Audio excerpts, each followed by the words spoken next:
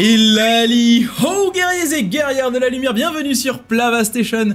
Aujourd'hui, on parle de l'érudit en profondeur, comment manger votre fée efficacement, comment lui arracher les ailes sans lui faire crisser des dents, on voit ça tout de suite. Donc comme d'habitude, si vous voulez participer à tout ça, n'hésitez pas à me rejoindre sur Twitch, on est avec les copains, on est bien, on discute, euh, on parle de plein de choses, c'est très très cool de pouvoir faire ça avec, euh, avec des gens en bonne compagnie. N'hésitez pas non plus à me rejoindre sur les réseaux sociaux, sur le Twitter et euh, sur le Discord, c'est très important, surtout si vous voulez voter pour votre prochain job que vous voulez voir.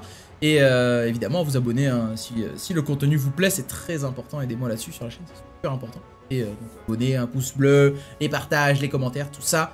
Et si le cœur vous en dit, évidemment, m'aider sur Tipeee YouTube. Donc on s'attaque à l'optimisation de l'érudit. Pas prêt, vous non plus. Il y a beaucoup de choses à dire et je sais pas si on pourra tout voir parce que je vais peut-être pas penser à tout. Mais on se lance ça, c'est parti.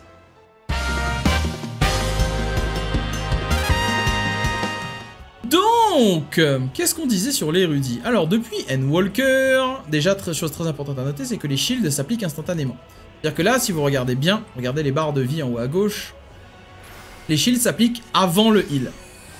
Donc comme le shield du mage bleu, d'ailleurs, on en parlait tout à l'heure, mais je pense que c'est grâce aux tests qu'ils ont fait sur le shield du mage bleu qu'on peut avoir ce shield sur l'érudit de cette façon-là maintenant. Sur les heals boucliers en général d'ailleurs.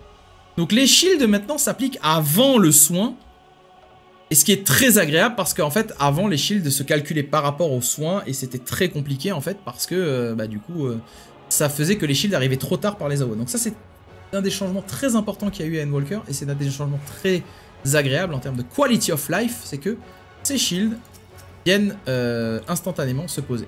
Aussi, chose très importante dont on n'a pas parlé dans l'autre guide évidemment, on va regarder des choses, c'est que quand vous êtes en train de caster, vous ne pouvez pas utiliser d'aptitude, d'accord?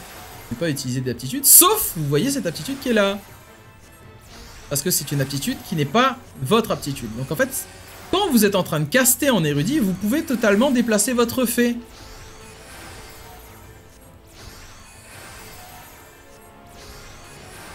Et ça, il ne faut pas l'oublier. Vous n'êtes pas obligé d'attendre les phases de weave pour déplacer votre fée. Et ça, c'est ultra important parce que si vous voulez attendre forcément des phases de weave, vous allez vous cancel des phases de weave en érudit pour déplacer votre fée, alors que ce n'est pas nécessaire pour, euh, pour pas mal de choses en termes d'optimisation, parce qu'en fait, bah, si ça vous garde, ça vous permet de DPS plus ou de heal mieux. Donc voilà, comme je l'ai dit, la macro pour déplacer la fée est quand même pas mal utile, je vous la remets. Du coup, cette petite macro, toute simple, vous permet d'avoir deux actions sur la même touche, tout simplement. Permet de du coup, euh, du coup juste avoir à déplacer, euh, avoir une touche pour rappeler la fée vers vous et qui ouvre ce déplacement. Si vous appuyez clic droit, bah, vous déplacez pas la fée. Si vous appuyez clic gauche, vous déplacez la fée là où vous avez cliqué, tout simplement. Donc ça c'est très important parce que comme on l'a dit, le, placement de la fée en érudit vous permet de déporter vos heals. Alors ça c'est très important parce que du coup sur la fée vous avez quand même le murmure de l'aurore qui est très très fort, vous avez le séraphin du coup euh, qui va être très très fort. Donc faites attention à ça. Autre chose, quand vous invoquez séraphin, si votre fée est déjà placée, euh, votre séraphin s'invoquera à l'endroit où vous avez votre fée. Autre, autre chose, faites attention avec le Séraphin, si vous utilisez vos aptitudes dans les dernières secondes de Séraphin ou juste avant d'invoquer Séraphin, vous pourrez déclencher ce qu'on appelle le ghosting, c'est-à-dire que vos aptitudes vont partir dans le vent. J'utilise mon murmure de l'aurore ici, l'animation va commencer à partir, mais le Séraphin va s'en aller, ce qui fait qu'on n'a pas le murmure de l'aurore. J'ai ghost mon sort. Donc ça c'est très important. Les manipulations de la fée sont une chose extrêmement importante en érudit, autant pour le placement que pour le healing, que pour le ghosting vous faites pas attention, vous risquez de vous, euh, vous, bambouser des sorts. Effectivement, ça marche également avec la dissipation. Si vous dissipez votre, euh, votre fée, eh bien, euh, elle va ghost également certaines actions, parce que vous la mangez, en fait, tout simplement. Donc en fait, si je fais action de la fée, action de la fée, et nom nom, et eh bien là, mon illumination féerique est partie dans le vide. Donc faites attention à ça, c'est extrêmement important. Je vois beaucoup de gens, et même moi des fois je me fais surprendre en me disant Là, j'ai placé mon Séraph, j'ai là ça, je mets mon hot, et je me dis, putain, il est où mon hot?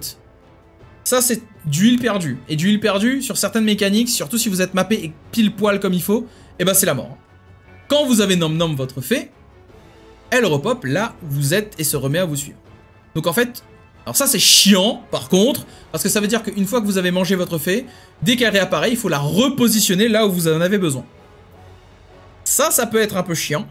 Il faut surtout pas l'oublier parce que du coup, si vous dites Eh, mais il y avait placé ma fée. Ouais, mais si vous l'avez mangé, c'est mort. Donc, en healer, vous allez avoir. Enfin, en healer. En érudit, vous allez vouloir essayer de viser ce stuff-ci. Donc, euh, globalement, je joue avec un stuff avec un petit peu de piété quand même. J'ai un petit peu de piété, comme on voit ici, j'ai 621 de piété. Pourquoi j'aime bien jouer avec un petit peu de piété? Parce que, à moins d'être dans un environnement de raid ultra calibré, il va toujours se passer des dingueries. Il va toujours se passer des dingueries, donc globalement, vous voulez jouer avec un minimum de piété. Donc, étrangement, euh, ce petit montant de piété me donne à peu près 2400 de mana euh, sur euh, le combat. 2400 mana, c'est un raise. Voilà. Donc du coup j'aime bien jouer avec un petit peu de piété pour pouvoir tanker au moins un raise sans qu'il y ait jamais de problème.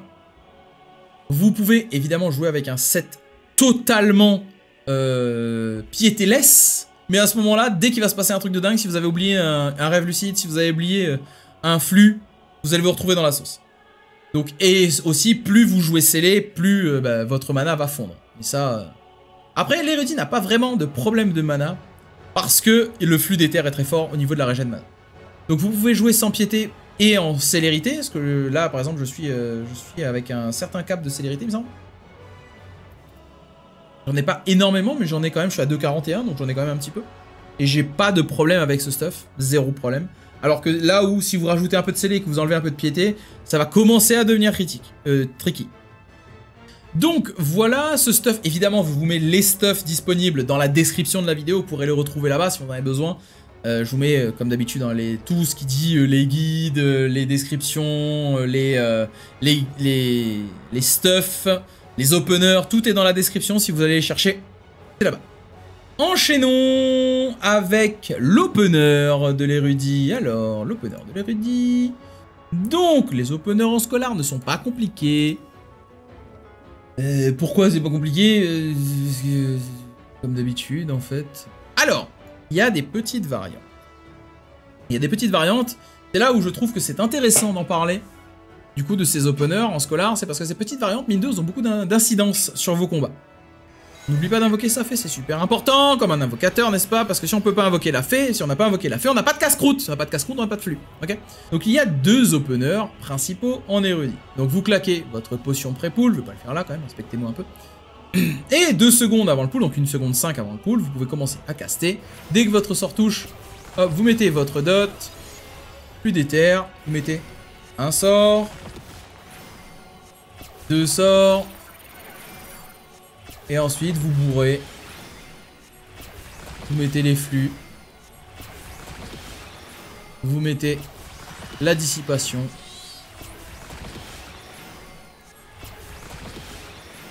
Autre chose, le refresh de dot, dépendamment de vos caps, des fois vous allez devoir refresh votre dot early et des fois vous allez devoir refresh votre dot tard pour le garder aligné. C'est normal, c'est parce que ça dépend de votre célérité, ça va falloir euh, apprendre euh, comment jouer avec. Et après le reste du combat, bah... Healer Gameplay Intensify Donc du coup, ça c'est l'opener No Swiftcast. Et il existe l'opener Swiftcast. Swiftcast. Qu'est-ce que ça change Globalement? Alors, globalement, ça va changer deux choses. Un, l'opener avec le Swiftcast vous permet de vous caler mieux avec, euh, avec vos alliés. Vous allez vous caler à une seconde et demie mieux dans les phases de burst, ce qui va faire que vous allez être parfaitement aligné. Donc moi j'aime, je préfère le Swiftcast pour deux choses. Donc un, ça m'aligne beaucoup mieux. Depuis qu'on est passé à l'opener Swiftcast, par exemple avec mon, euh, mon Reaper, mon, avec mon DRG, on était calé pile poil sur la même, euh, sur la même seconde pour les buffs, et ça, mine de ça change. Mais ce qui change aussi sur l'opener Swiftcast, c'est qu'en fait, euh, ça vous permet de mettre vos 6 aspirations d'énergie dans le stratagème entrelacé. Vous le voyez bien, oui. Donc l'opener Swiftcast, c'est à peu près la même chose, sauf que vous allez utiliser, comme son nom l'indique, un Swiftcast pour double weave le stratagème entrelacé et une aspiration d'énergie. Donc pareil, une seconde et demie avant le pool, vous commencez à cast.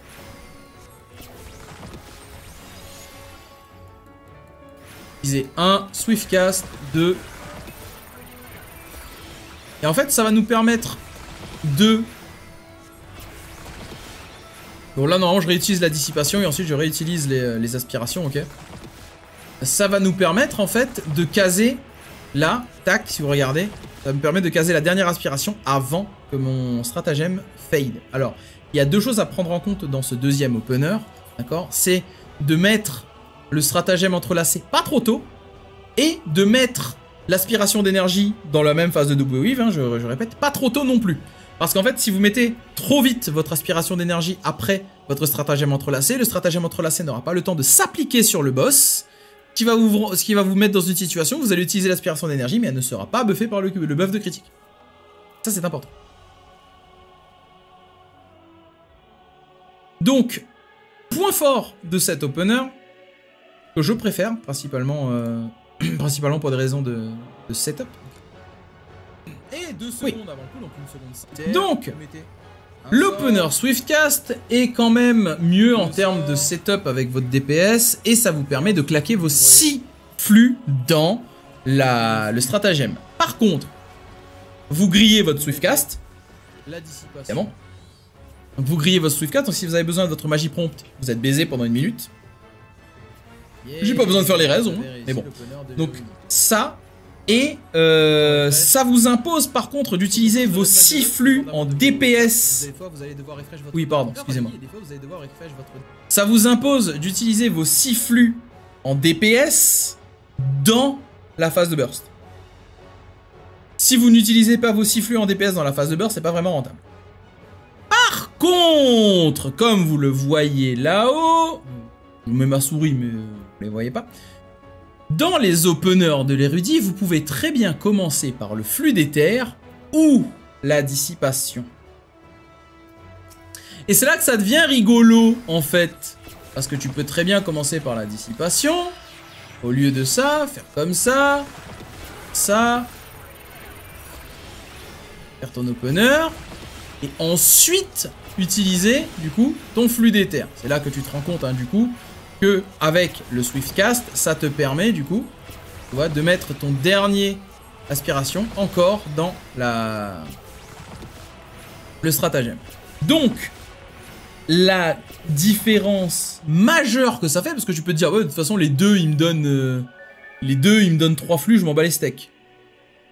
Et tu aurais tort, petit padawan érudit, parce que c'est comme ça qu'on commence à s'optimiser en érudit. Et c'est là qu'on va commencer à toucher du doigt quelque chose d'un peu abstrait, parce qu'encore une fois, c'est du travail de healer, et le travail de healer, c'est assez difficile d'en parler. Le mapping des CD. Globalement, si vous utilisez votre, euh, dissipation plus tôt, elle sera plus proche de votre phase de 1 minute. Si vous utilisez votre dissipation plus tôt, votre fée reviendra plus tôt, ce qui vous permettra de heal avec la fée plus rapidement. Cependant, d'accord c'est comme laisser des tanks toujours au plus court d'abord. Non alors d'ailleurs, on n'en a pas parlé, mais globalement, au début de l'opener, dans la première phase de Weave, vous pouvez totalement aussi claquer un murmure de l'aurore. D'accord? Vous pouvez claquer un murmure de l'aurore avant de Nom Nom l'a fait. Ça, ça se fait aussi. Ça vous permet de, de, gratter du healing, parce que de toute façon, vous allez bouffer votre fée. Donc, si vous avez besoin de votre fée tôt dans le combat, il est intéressant de commencer par la dissipation en premier. Parce que du coup, vous allez la récupérer plus tôt, ce qui vous permet de setup la fée plus tôt.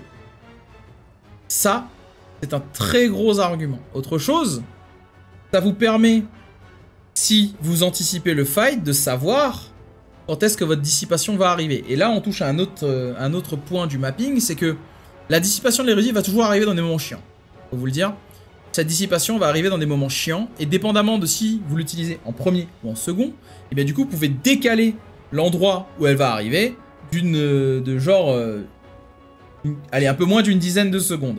Ça vous permet des fois de récupérer la dissipation avant que les mécaniques soient chiantes pour pouvoir cramer des flux pour pouvoir récupérer après votre, votre flux d'éther. D'accord? Ça, c'est ultra important, mais ça, il faut connaître les combats, il faut y penser à l'avance. Donc c'est là qu'on commence à arriver dans la, dans la saloperie l'hérésie, c'est qu'il faut, faut tout mapper, il faut tout connaître. Donc, par contre, très gros désavantage, surtout sur ce palier, par exemple, c'est que si vous dissipez votre fée au début du combat, tous les flux que vous allez mettre vont partir dans le vent. Vous allez être à zéro de jauge si vous commencez par la dissipation. Vous faites votre opener, vous êtes en mode Ouh, je fais l'opener, ouh, je dissipe ma fée, ouais, voilà, ouh. Ah bah ça ne donne pas de jauge Ah ben ça me donne pas de jauge Ah ben ça me donne pas de jauge Ah ben ma jauge elle est où?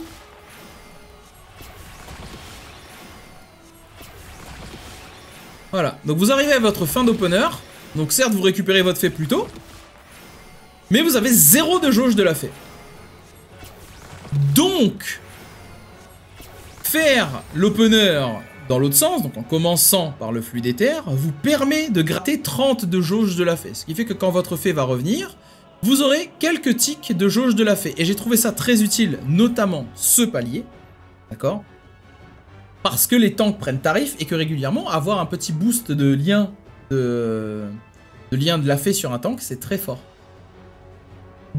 Aussi, ça vous permet de manage votre jauge de la fée, d'accord, pour la suite du combat. Il y a des combats où vous en avez peu besoin au début, mais qu'au bout d'un moment dans le combat, vous allez en avoir besoin sur votre tank. Si euh, vous savez, d'accord, que vous n'avez pas besoin de jauge au début, et que vous voulez drift globalement d'une minute votre jauge de, de fée, eh bien vous pouvez commencer par la dissipation pour ne pas avoir de jauge de fée au début parce que ce serait de la perte, parce qu'il n'y en a pas besoin, pour l'avoir plus tard. Par contre, si vous en avez besoin rapidement de votre jauge de la fée, eh bien ça peut être intéressant de commencer par le flux d'éther pour gratter de la jauge, pour en avoir suffisamment pour les mettre un petit peu sur le tank rapidement. Aussi oui, le Swift Opener, d'accord, donc avec la magie prompte, euh, demande au moins 2,43 de GCD. Ça demande un peu de célérité pour pouvoir caser les 6 euh, les six aspirations dedans. Tout demande de l'anticipation sur l'érudit. Et si vous le faites pas, et eh bah ben, du coup vous allez perdre euh, la force du job tout simplement. Donc tout à l'heure on parlait tu vois de, la, de la pastille, pour ceux qui ne savent pas, d'accord? Donc on parlait de la récitation, du traité du réconfort et des buffs de heal. Donc par exemple, votre, votre dissipation, on en parlait hein, dans, la, dans la première partie des vidéos, alors ça peut être intéressant de noter que oui, vous voulez pas utiliser vos sorts de magie, parce que bah, c'est des sorts, d'accord Mais quand vous utilisez la dissipation, vous récupérez des flux. Donc si vous avez besoin de flux pour heal, et eh ben du coup c'est gratuit. Mais surtout, si euh, quand vous avez besoin de setup un shield sur le groupe, euh, vous avez encore votre dissipation, vous avez quand même 20% de bonus de heal. Et 20% de bonus de heal, mine 2, c'est pas dégueulasse. Parce que comme vous, allez le voir, si je décide... Donc si tu mets la loi de la protraction, si tu mets l'illumination et que tu mets ton nom-nom et que tu mets ta récitation, par exemple, tu peux cumuler des boucliers assez stupides sur l'érudit. Voilà la pastille. Donc les fameuses pastilles, hein, c'est quand vous avez un bouclier qui dépasse votre maximum de HP. Donc ça, euh, c'est le genre de truc stupide que vous pouvez faire en érudit. Quand vous avez setup un combat euh, comme il faut, il peut... Euh, en fait, il peut arriver à des moments où, ah bah il y a un tank buster, j'ai la loi de la protection qui augmente les shields, il y avait une AOE juste avant, et j'ai le 10% de mon illumination féerique. Euh, vous pouvez claquer la dissipation, mettre un shield extrêmement stupide sur une personne, et derrière, le spread à votre team. Donc ce genre de situation, elles n'arrivent pas par hasard, il faut les calculer, mais quand ça arrive, et que c'est setup, vous pouvez totalement bypass certaines mécaniques grâce à ce stratagème du déploiement. Là où un sage sera extrêmement fort pour remonter le groupe avec son pneuma, par exemple, l'hérésie, lui, peut totalement éradiquer les dégâts que le raid va prendre. C'est pour ça que j'aimerais un petit dégât sur ce stratagème du déploiement pour ne pas que ce soit une option qui me coûte du DPS. Comme le pneuma, tout simplement. Donc, du coup, avoir ça sur le Scola le rend ultra puissant, mais ça, vous vous rendez compte du nombre de choses, de paramètres, d'accord? Ça demande la protraction, ça demande l'illumination, ça demande la dissipation. Si vous avez un guerrier, je vais vous montrer. je vais vous montrer ce que ça donne si vous avez un guerrier. ce sera plus simple. Et donc en fait, pourquoi on faisait ce setup à la base? On l'a gardé, d'accord? On faisait ce setup à la base parce qu'on n'avait pas de Mitty. On n'avait pas un guerrier ici avant on avait un Gunbreaker qui ne pouvait pas miti la mecha. Parce que c'est physique, je crois, ce qui arrive. Donc en fait, on il nous manquait un bouclier. Et j'ai dit, j'en ai rien à foutre, je vais faire un setup de l'angoisse. J'ai dit à mon mage blanc, euh, mets ta tempérance sur le truc d'avant pour que je l'ai ici, mets ta bulle pour nous remonter, comme ça j'ai le buff. J'ai dit, bard, guerrier, mettez ça. j'ai fait mon setup. Derrière, pour mettre un bouclier à 24 439, sachant que c'était le stuff, euh, c'est le stuff bloqué. Hein. Donc je fais un heal à 24 439 que je peux spread sur mon groupe.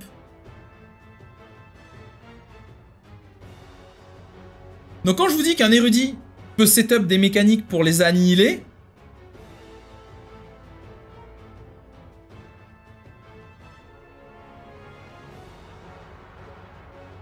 Sachant que là, en fait, on a un war. Donc en fait, là, il va mettre le débarrassage. Ok Là, il va mettre le débarrassage à la toute fin, je crois. Il me semble que c'était ça. Je sais plus. Si, voilà, voilà. Il met le débarrassage à la toute fin. Parce qu'en fait, nous, à la base, on n'avait pas de, euh, bouclier ici. Et on avait besoin d'un gros bouclier pour tanker la méca, en fait. Parce qu'on avait des mythis euh, magiques. Parce qu'on avait Pisto et, euh, et des RK. Et il nous manquait un bouclier. Et là, et eh ben la méca, on lui dit Va te faire foutre. Parce que du coup, on fait la méca, et regardez, premier tic de dégâts, on n'a rien pris. On a pris zéro. Comme ça, vous voyez que... Et imagine, on imagine on n'a pas le shield, là. Regarde les dégâts que j'ai pris, là. J'ai pris 38 000. Avec le restant du shield d'avant. Donc dis-toi que si j'avais pas ce setup-là, on meurt, hein. Oui, les HP du War, par contre, ils sont stratosphérisés, là. Ils sont satellisés, là, les, les HP du War. Hein il ne peut plus prendre de dégâts, c'est impossible. Donc en fait, ce genre de setup, c'est ce qui est le plus difficile en érudit. Trouver des moments où vous avez besoin justement de, euh, de, trouver des setups pour en fait faire ce genre de choses. Il faut apprendre à mapper tous vos combats. Et si tu regardes, par exemple, sur ce fight de DSR, j'utilise quasiment tout euh, mon kit on CD. Genre, il y a tout qui part quasiment dès que c'est disponible parce que. Il a pas le choix. C'est. Euh, et tout est setup de façon à. à sortir au moment où on en a besoin. Et c'est ça le travail le plus compliqué à faire en érudit. C'est que. Euh, il faut apprendre les combats de ouf pour servir à quelque chose. Tu vois, j'ai récupéré mon séraph, je mets mon séraph. J'ai récupéré ma bulle, paf, je mets ma bulle pour setup le truc. Et euh, en fait, il y a que ça ça, c'est, il faut apprendre à tout faire en avance. Tu vois, regarde, regarde, regardez mon kit sur mon ATH en bas. Il y a tout quasiment qui est en CD. Il y a absolument quasiment tout qui est en CD.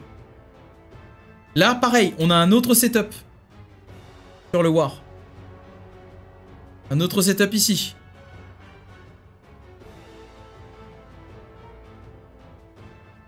Pourquoi ce setup ici? Bah, c'est pareil, derrière, il y a une AO à tanker. Donc, voilà, pareil, tu vois, tout ça, tout ce mapping de savoir, ah bah là, il y a 90 secondes, donc je peux remettre un, script, je peux remettre un crit low. Ah, il y a 90 secondes, donc je peux remettre un spread low. Donc ce spread low, je peux l'utiliser. Ici, je récupère une bulle si je la mets suffisamment tôt avant. Et ensuite, derrière, on peut tanker la méca pour la passer. Donc en fait, tout ça pour dire quoi? Pour dire, il faut apprendre à mapper ces combats. En érudit, c'est primordial. Parce que euh, non seulement ça vous permettra d'avoir des combats faciles, parce qu'en fait, si vous setupez toutes vos actions au poil de cul sur ce qui se passe dans le combat, vous saurez toujours où vous en êtes dans le combat. Ça, c'est un énorme avantage et qui est plus facile peut-être à faire en érudit parce que justement, vous devez mapper plein de choses. Donc c'est plus facile à se retrouver dans les combats parce que vous savez ce, que vous avez et ce que vous avez pas. Par contre, ça demande un gros, gros, gros, gros, gros, gros boulot en amont pour savoir ce que vous pouvez mettre et où et quand. Parce que sinon, eh ben, vous vous retrouvez dans des situations où vous n'avez rien setup et que votre groupe il fait et si votre groupe il fait et ben votre groupe il est pas content. D'accord? Ça ne m'empêche pas de DPS. Ça ne m'empêche pas euh, de, de, taper le plus que je peux dans le combat. Euh, mais par contre, au-delà de la, de la, du setup ça demande en érudit, l'érudit lui-même, ça demande aussi énormément de synergie avec votre coil et votre co-tank et vos, vos DPS pour la mitigation. Parce que euh, il y a beaucoup, beaucoup, beaucoup de choses à prendre en compte quand vous êtes un soigneur, et c'est ça le plus difficile, on l'a dit sur le guide du sage aussi, c'est que en healer, vous dépendez de votre équipe. C'est ça la, la grosse faiblesse du job de l'érudit, c'est qu'il demande de la précision. Et cette précision, si tu l'as pas, bah, t'es pas opti. S'arrête là. Je pense que c'est le healer le plus fortiche actuellement parce qu'il y a vraiment un kit monstrueux sur l'érudit. Mais il a des faiblesses, c'est pas parce qu'il est très fort euh, d'un côté qu'il qu'il a, a pas de faiblesses. Non, loin de là. Il a aussi des faiblesses et celle-ci en fait partie. Donc voilà. Il est vrai, il est vrai. C'est une bonne, euh, euh, bonne suggestion. Donc effectivement, après pour mapper ces CD, globalement, vous allez caler les CD dont vous avez besoin sur les combats. Et effectivement, il est important de noter que généralement, comme on en a parlé euh, plus tôt, il euh, y a des aptitudes que vous préférerez ne pas avoir à utiliser. Donc on en parlait dans la vidéo précédente, je vous invite à aller la voir, hein, n'hésitez pas. Découvrir un petit peu les Mais par exemple, le traité de la persévérance en outil, en outil c'est un outil que vous ne voulez quasiment pas utiliser. La loi de la revivification, c'est pareil. En fait, vous avez des flux en érudit, et à la grosse différence du sage, c'est que ces flux peuvent se convertir en DPS avec l'aspiration d'énergie. Et là, en fait, ça va commencer à toucher un truc euh, un petit peu sensible. Je sais qu'il y a beaucoup de healers qui vont avoir un peu de mal avec ça, et beaucoup de groupes qui vont avoir de mal avec ça aussi, mais globalement, si vous avez un outil pour DPS, ça veut dire que si vous utilisez cet outil pour heal à la place, vous perdez 100 DPS. Donc en fait, l'objectif de l'érudit à terme est de ne pas avoir à utiliser de flux. Parce que vous voulez au maximum taper dans l'aspiration d'énergie. Alors évidemment, euh, il y a des situations où vous n'allez pas pouvoir le faire, parce que vous n'êtes pas totalement opti, parce que les gens mettent pas leur métier, etc. etc. Oui, c'est normal. Mais globalement, dites-vous que dans la majeure partie des cas, vous voulez utiliser la majorité de vos flux pour taper avec l'aspiration d'énergie. Globalement, les, aptitudes qui consomment des flux sont relativement peu rentables parce qu'elles vous coûtent du DPS. Par contre, il est bon de noter que même dans ces aptitudes, il y en a que vous voulez pas utiliser, mais il y en a d'autres, c'est pas trop grave si vous les utilisez. Pourquoi? Parce que dans euh, ces aptitudes, par exemple, qui consomment des flux, on a la, la loi de la revivification, d'accord? La loi de revivification et le traité de la persévérance, donc on a dit c'est celle que vous voulez pas utiliser, mais en face tu as le dogme de survie qui a 600 de potency en heal et 10% de mitigation. Ça en vrai, vous pouvez l'utiliser les yeux fermés. Pourquoi à ce moment-là euh, c'est intéressant? Parce que dépenser 100 de DPS pour avoir de la mitigation et un heal si fort peuvent se convertir en DPS pour votre co-heal. Et là, on touche à une autre notion du, euh, healing, c'est l'optimisation par duo en DPS.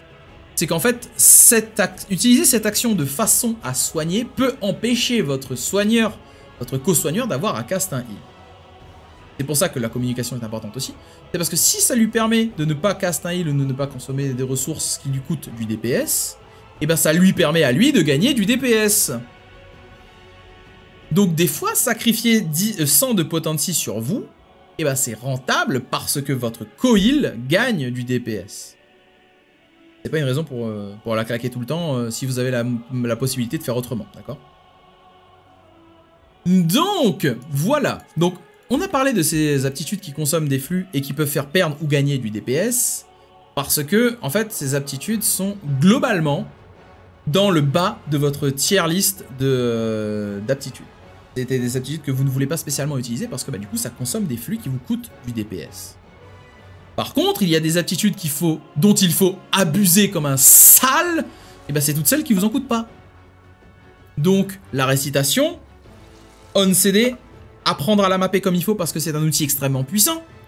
Nous avons la protraction pour les tanks, nous avons du coup euh, le lien de la fée, donc le lien, euh, le lien féerique qui est extrêmement utile et à surtout ne pas oublier. On a vu d'ailleurs, dépendamment de l'opener que vous utilisez, vous pouvez décaler dans votre combat. Donc encore une fois, apprendre à mapper comme il faut. On a du coup la bénédiction féerique, même si ça a l'air de rien, 320 de potentie, bah c'est gratos. D'accord? Ça aide. C'est gratuit, c'est toutes les 60 secondes. Le murmure de l'aurore, on a vu tout à l'heure, c'est 600 euh, ou quelque chose comme ça de potentie. C'est extrêmement fort. Le séraphin, c'est pareil. C'est gratuit, c'est extrêmement puissant. L'illumination féerique, ça a le double effet qui se coule de mitiger la magie et d'augmenter les heals de votre coil, hein, parce que c'est pas vous qui avez la heal dessus, sauf si vous vous setupez comme il faut. Voilà. Euh, le rêve lucide, parce que voilà. Et euh, évidemment, la dissipation qu'il faut apprendre à utiliser principalement pour DPS, parce que ça vous recharge vos flux, tout simplement. Donc du coup, euh, il y a énormément de choses. Après, évidemment, on n'a pas parlé aussi de la thèse fluidique. La thèse fluidique, ça vous permet de bypass beaucoup de mécaniques. La thèse fluidique, c'est vraiment l'outil le plus important à maîtriser sur l'érudit, parce que mécanique de déplacement, reste sur les alliés, même s'ils s'en vont, euh, le sprint, la mitigue, ça fait le café, ça fait tout. Et c'est vraiment euh, des outils qui sont top prioritaires dans votre, dans votre charte de, de, mitigation et de, de, healing. Donc, on privilégie globalement l'utilisation des aptitudes de la fée rapidement quand vous en avez besoin. Vous faites tourner toutes les attitudes qui ne consomment pas de flux et ensuite vous utilisez vos flux. Évidemment, comme on l'a dit tout à l'heure, l'utilisation d'une bulle peut permettre à votre coil de ne pas avoir un heal et du coup vous faire gagner du DPS en termes de duo. Donc ne, ne prenez pas euh, tous vos flux pour cramer en DPS. C'est toujours, encore une fois, sur l'érudit, toujours plus important de mapper votre combat avec votre coil pour apprendre à optimiser ce fight à 2.